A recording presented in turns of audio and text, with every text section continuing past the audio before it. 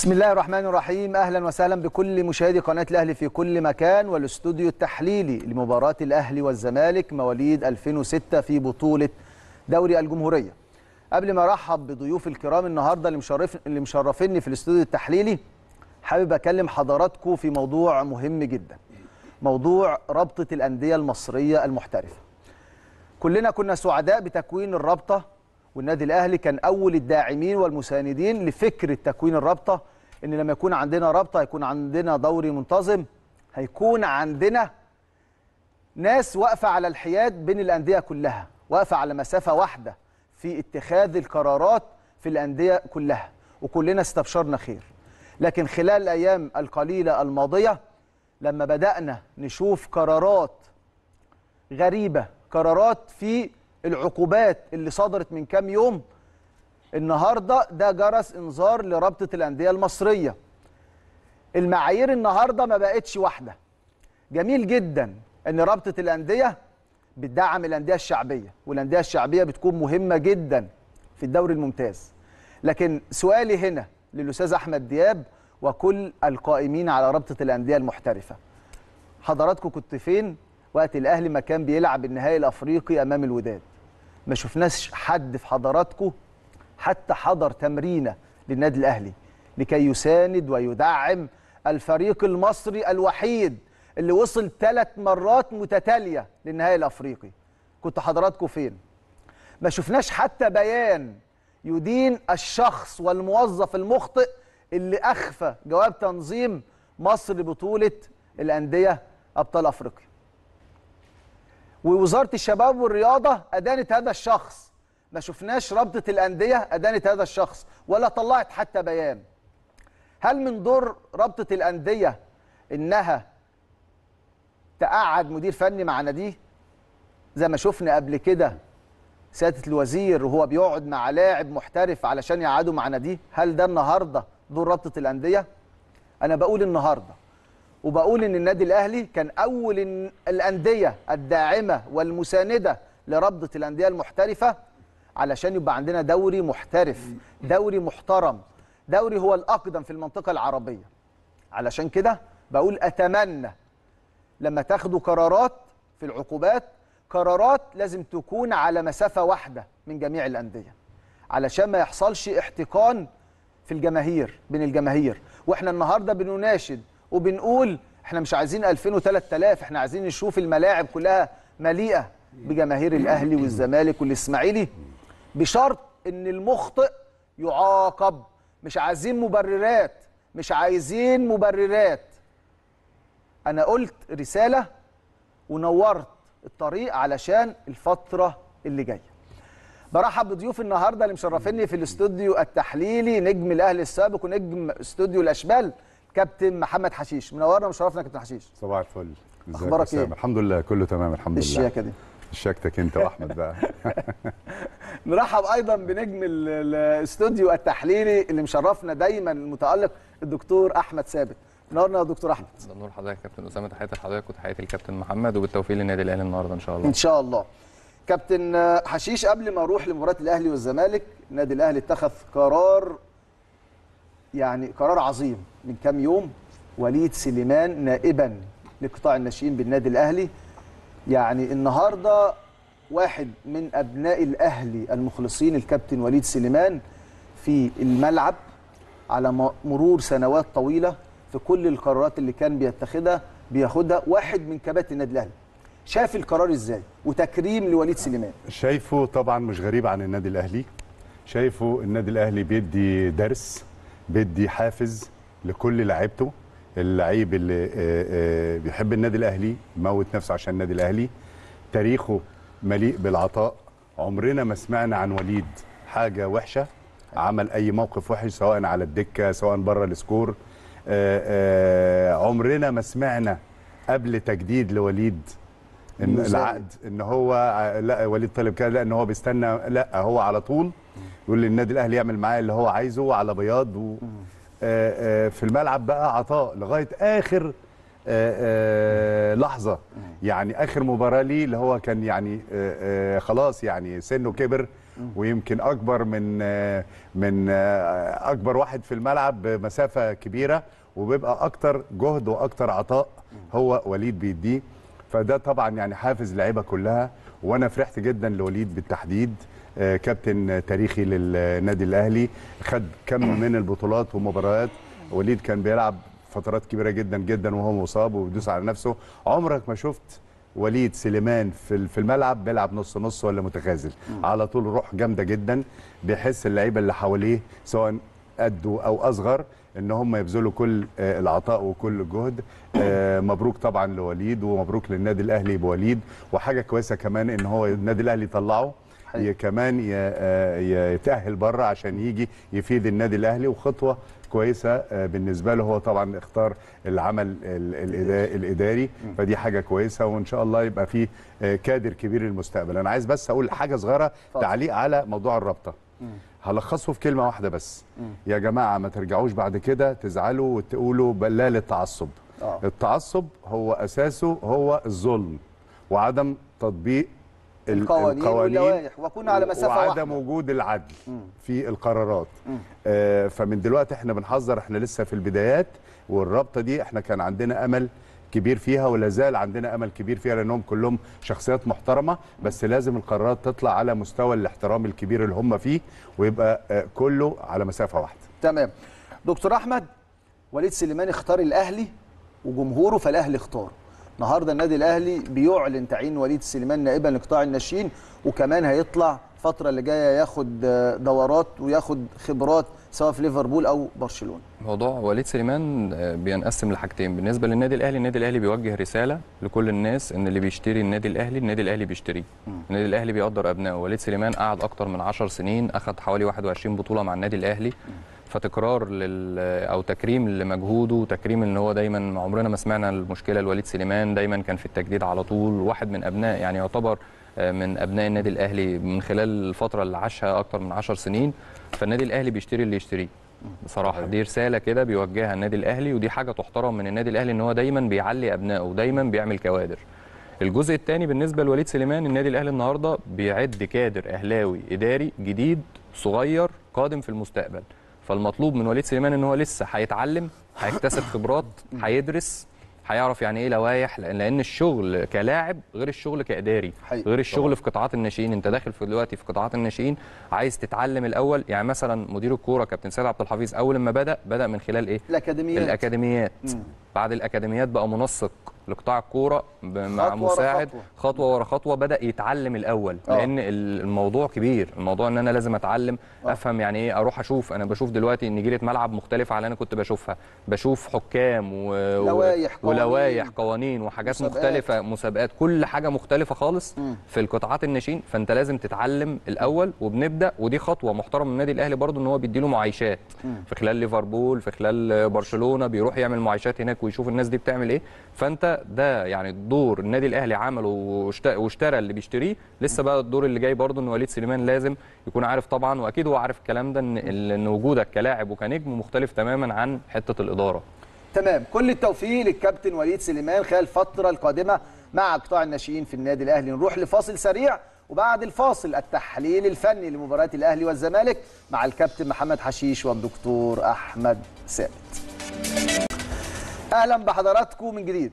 النهاردة إن شاء الله الجولة الخامسة في بطولة الجمهورية مواليد 2006 نشوف ونتابع مع حضراتكم دلوقتي على الشاشة مباريات اليوم من دوري الجمهورية مواليد 2006 بيفتتح الأسبوع أو الجولة الخامسة بمباريات الأهلي والزمالك. زي ما إحنا شايفين قدام حضراتكم دلوقتي مباراة الأهلي والزمالك في ملاعب الناشئين في مدينة نصر.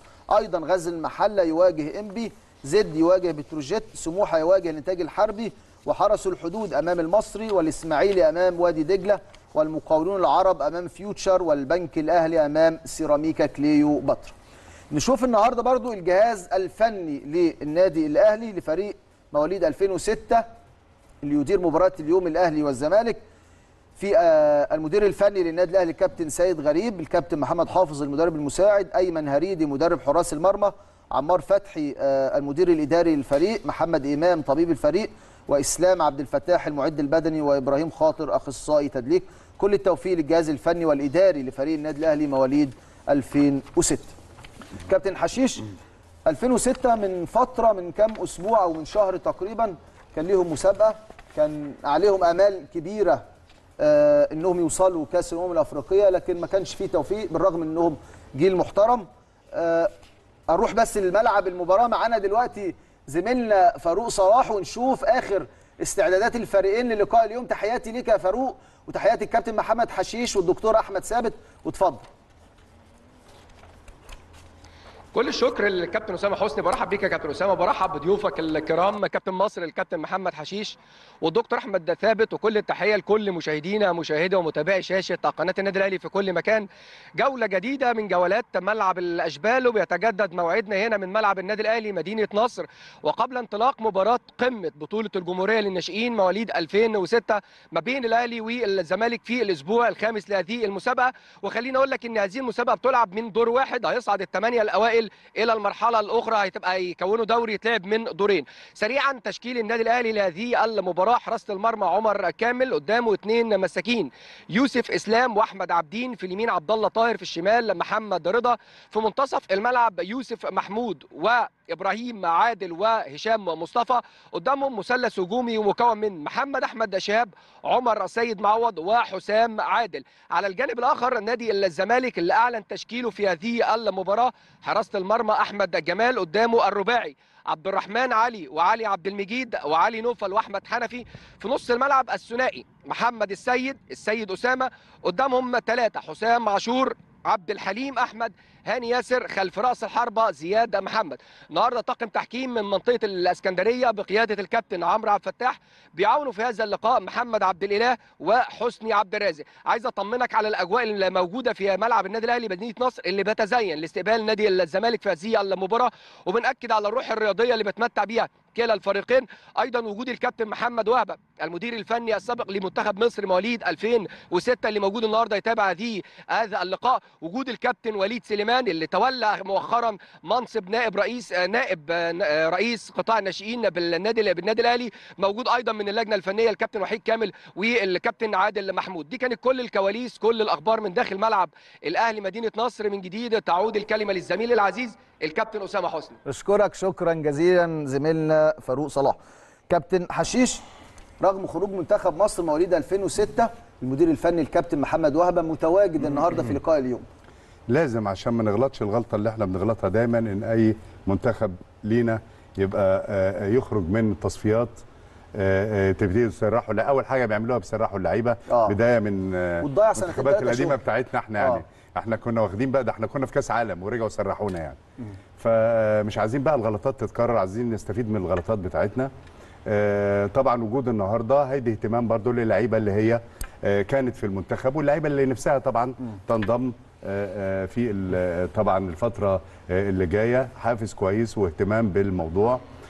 طبعا النهارده برضو ماتش أهلي وزمالك. ماتش برضو يعني أكبر فرقتين المنافسة التقليدية الأساسية آه، بيبقى لها طابع طبعا خاص. آه، نتمنى طبعا اللعيبة آه، يعني تأدي مباراة كويسة وتكسب طبعا وتعوض ال- الماتشين التعادل اللي قبل كده من خلال الاربع ماتشات. النادي الأهلي تعادل ماتشين وكسب ماتشين. الماتش ده مهم ومع الزمالك عشان يتقدم خاصة. بطولة خاصة ويتقدم في الترتيب عشان طبعا نظام المسابقة إنه هياخدوا طبعا الفرق الأولاني أو أول تمن فرق. ثمان فرق يعني. دكتور أحمد زي ما زميلنا فاروق صلاح قال التشكيل دلوقتي أقول لحضراتكم مرة تانية عمر كامل في حراسة المرمى يوسف خط الظهر عبد الله طاهر يوسف إسلام أحمد محمد عابدين محمد رضا. في خط الوسط هشام مصطفى يوسف الجندي وإبراهيم عادل. والخط الأمامي عمر سيد معوض حسام عادل محمد أحمد شاب. 4 3 3 كابتن سيد غريب يبتدي لقاء اليوم. الاختلاف عن السنة اللي فاتت آه. إحنا كنا بنحلل السنة اللي فاتت كان كان, كابتن سامر عبد الرحمن. هو اللي ماسكهم السنة آه. دي كابتن سيد غريب مم. يمكن في طبعا اختلاف خلينا نقول في حراسة المرمى عمر كامل ده واحد من الحراس الممتازين في النادي الأهلي الصاعد إن شاء الله يتألق بإذن الله النهارده آه. الاثنين المساكين أحمد عبدين واحد برضو من المساكين إن شاء الله يكونوا ليهم مستقبل أحمد عبدين رقم ثلاثة جنبه يوسف إسلام آه هنا توظيفه ليوسف إسلام مختلف عن آه. آه. السنة اللي فاتت يوسف إسلام آه. آه. كان كابتن سامر آه، يوسف إسلام كان لعيب ارتكاز آه. دفاعي وسط مميز بكورته آه. حلوة ولعيب بيلعب بالقدم اليسرى النهارده يوسف إسلام بادئ كمساك تاني جنب أحمد عبدين دي أنا بشوفها نوع من الريسك آه النهارده ال risk ده يا هيحسب لكابتن سيد غريب يا إما يعني risk. ليه؟ لأن ده لعيب ارتكاز أنا بجيبه. قد يكون هو جايبه هنا عشان كورته حلوة من تحت وهو آه. عايز يحضر الهجمة. يبقى عنده اتنين مساكين كويسين كورتهم من تحت كويسين أحمد عبدين ويوسف إسلام. لكن يوسف إسلام مركزه الأصلي ارتكاز لعيب آه. ارتكاز.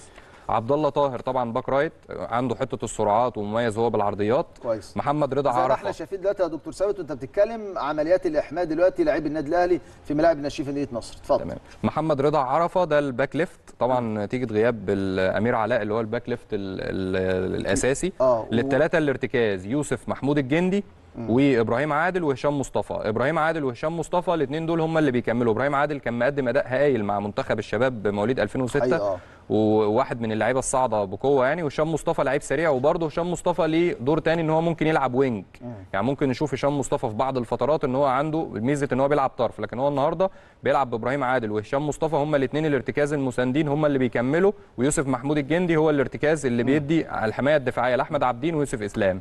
الثلاثه اللي قدام عمر سيد معوض ويعتبر أفضل موهبة صاعدة في الجيل بتاع 2006 آه. اللي هو الجناح اليمين رقم 14 ابن الكابتن سيد معوض ورقم 10 محمد أحمد شهاب اللي هو الجناح الشمال وأخو شهاب الدين أحمد لاعب النادي الأهلي السابق. رقم 10 وقدام هداف الدوري السنة عادل. اللي فاتت حسام عادل وتكرار لتجربة التوأم تاني حسام وإبراهيم. بنشوفها يمكن حسام عادل كان برضه عشان الناس تكون عارفة كان بيلعب من سنتين مدافع. آه. جه كابتن سامر السنة اللي فاتت وظفه ووظفه مهاجم. مهاجم وسجل السنة اللي فاتت 18 هدف. تمام. كل التوفيق للاعبي النادي الأهلي. نروح أيضا لفاصل سريع وبعد الفاصل أسأل ضيوفي إزاي النادي الأهلي يبتدي لقاء اليوم أمام نادي الزمالك. أهلا بحضراتكم من جديد. أقول لحضراتكم برضو تشكيل الزمالك اللي هيواجه الأهلي النهارده مواليد 2006 في بطولة الجمهورية. في حراسة المرمى أحمد جمال السيد خط الظهر علي نوفل عبد الرحمن علي علي عبد المجيد أحمد حنفي. خط الوسط الثلاثي السيد أسامة عبد الحليم أحمد محمد السيد.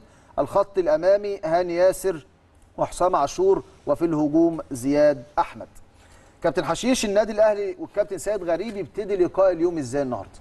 واضح طبعا إن هو من التشكيل بيلعب 4 3 3 آه. عايز يضغط من البداية ويقفل على الخط ظهر الزمالك. إذا كانوا يبدأوا من تحت هيبقى طبعا هيخليهم يغيروا طبعا الاستراتيجية بتاعتهم ويضغط من بدري. يستغل طبعا عامل الأرض بيلعبوا على ملعب النادي الأهلي. آه أعتقد إن الضغط من البداية على لعيبة نادي الزمالك وفي السن ده طبعا لسه مفيش خبرات آه، قوية. فممكن ينتج عنه طبعا ضغوط آه، آه، على اللعيبة. ممكن يحصل أخطاء ممكن تحرز هدف.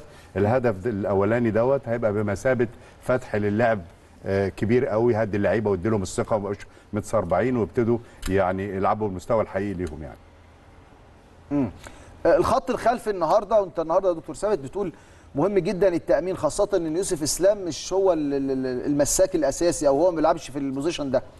ال- ال- المطلوب من خط الظهر عبد الله طاهر يوسف إسلام أحمد محمد عبدين ومحمد رضا. المطلوب منهم تسريع الكورة لأن النهارده أنت بتلعب باثنين مساكين كورتهم حلوة. آه. يعني أحمد عابدين كورته حلوة ويوسف إسلام كو- كورته حلوة.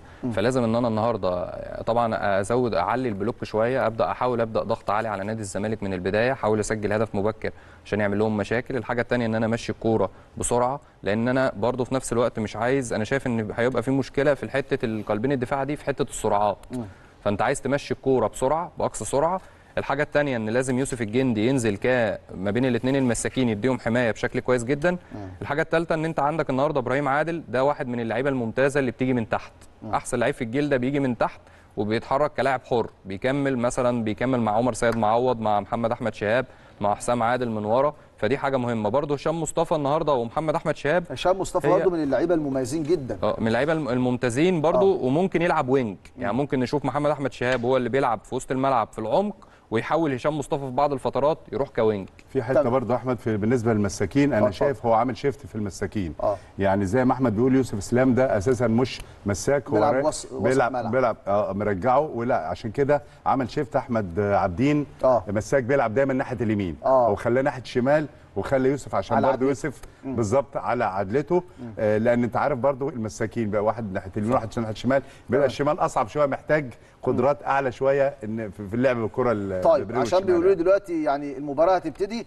أخيرا حكام ال- اليوم من منطقة الإسكندرية حكم ساحة كابتن عمر عبد الفتاح مساعدين كابتن محمد عبد الإله وكابتن حسني عبد الرازق. كل التوفيق للاعبي النادي الأهلي. نروح لفاصل سريع. وبعد الفاصل معلقنا الكابتن تامر عبد السلام.